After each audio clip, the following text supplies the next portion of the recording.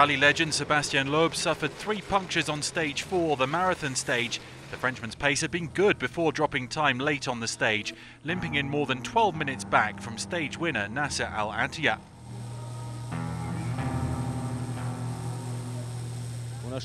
We had to change the wheel three times, and on the last puncture, we had to put a tyre back on that was already punctured. Even a warm reception at the car's bivouac in Tacna didn't lift the morale of Loeb's co-driver Daniel Elena. With no assistance allowed, the mechanical skills of the competitors were tested. In Tacna, if I had a hammer.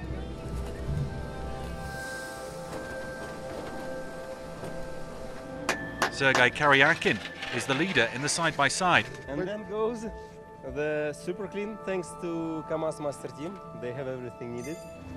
Close to the Chilean border, the competitors' physical strength and camaraderie shone through. Thank you. Now we can do it everything. now we've got it fixed.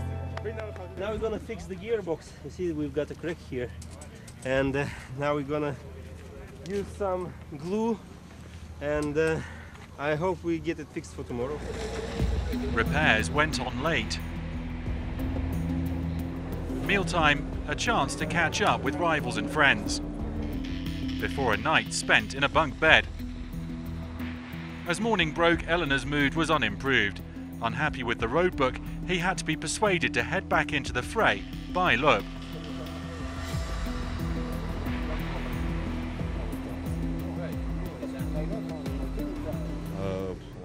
I've convinced Daniel to do another day. We're not going to walk to Arequipa after all. We'll get back there and then we'll see. He's not very motivated, he doesn't want to do it. We'll see. On verra bien. So a big day in prospect for the big shots.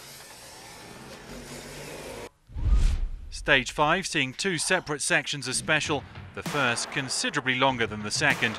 The total number of kilometres to be covered, 451. A big effort then required from all before the rest day in Arequipa.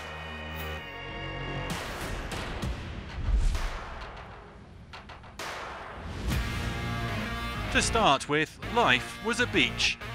Starting two by two, beginning with Nasser Al Attiyah and Stéphane Peterhansel.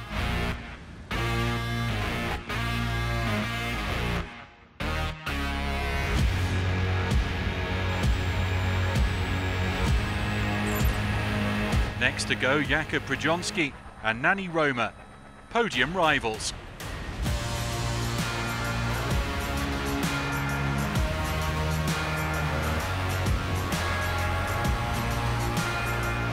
While Yazeed Al Rajhi was quicker off the line than Loeb, the Saudi hit major difficulties, while the Frenchman settled into a fine groove.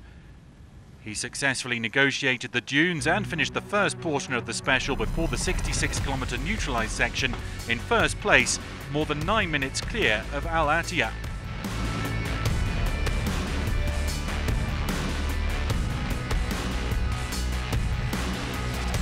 Carlos Sainz has only stage victories and supporting his mini teammates to play for now. The 2018 champion was even quicker than Loeb through the first waypoint before dropping down the field, finding trouble after 200 kilometres.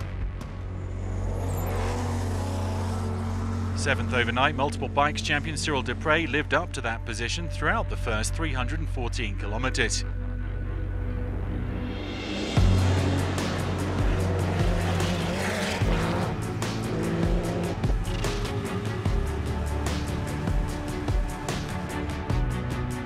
Peterhansel was quicker than Al Attiyah initially, but later made a mistake, allowing the Qatari to pull out a couple more minutes ahead of the neutralisation.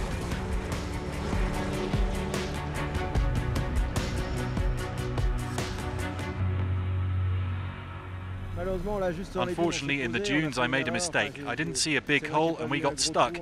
So we lost several minutes, but we're not too far away from Nasser. Al Attiyah then, the Toyota man holding off the Pacific Ocean of minis.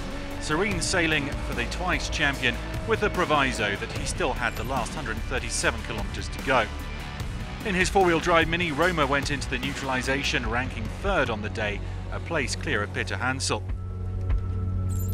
Przygoński was fifth, almost four minutes back from Roma. The day for the cars, though, was far from over.